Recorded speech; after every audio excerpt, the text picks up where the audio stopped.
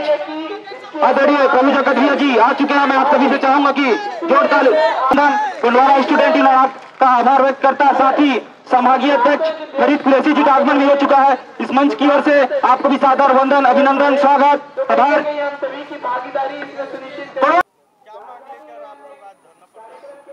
मांगे तो छत्तीसगढ़ में बहुत सारी हैं।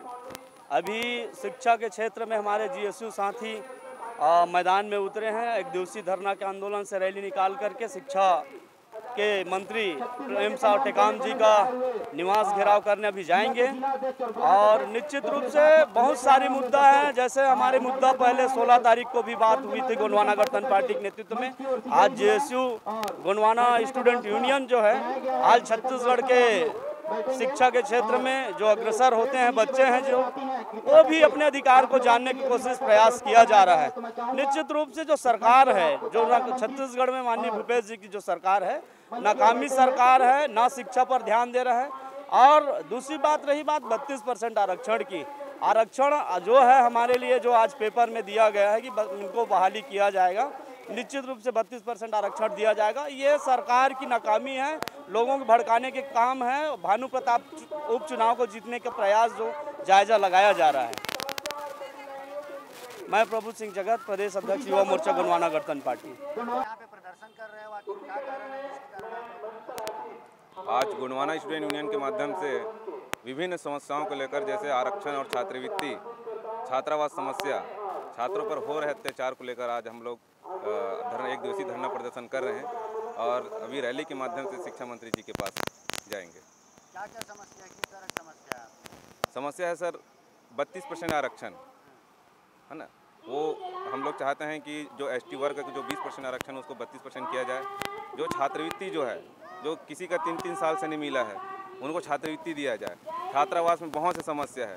छात्रावास में एक रूम में दो बच्चे रहते हैं, लेकिन एक रूम में तीस तीस बच्चे का रखा जा रहा है। एक हिसाब से छात्रों पर अत्याचार, चरम सीमा पर है। इसके विरोध में हम लोग आज एक दिवसीय धरना प्रदर्शन किए हैं। प्रदेश भर से करीबन 2000 छात्र यहाँ पर उपस्थित हैं। जी, सभी ज़िले से आए इसमें रैली के माध्यम से हम लोग शिक्षा मंत्री के पास जाएँगे। और वहाँ पर विभिन्न समस्या प्रति ज़िले से बहुत से समस्या है। उन सबको लेकर हम लोग ज्ञापन सौंपेंगे। Santosh Marawi Gunwana student union Chhattisgarh. दादा सुनील जी।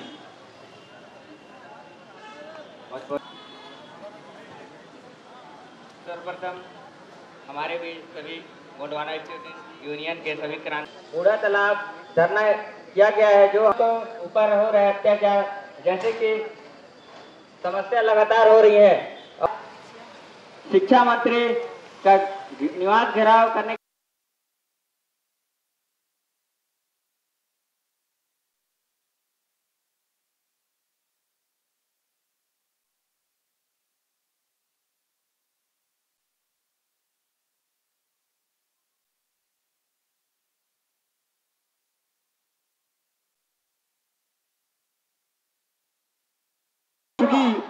हमारे बीच बहुत सारे वक्ता हैं। बैठे प्रभु कटरिया जी, आ चुके हैं। मैं आप सभी से चाहूँगा कि जोरदार कुंडवारा स्टूडेंट यूनियन आपका आभार व्यक्त करता है। साथ ही संभागीय अध्यक्ष फरीद कुरैसी जी का आगमन भी हो चुका है। इस मंच की ओर से आपको भी सादर वंदन, अभिनंदन, स्वागत, आभार। संघर्ष करो।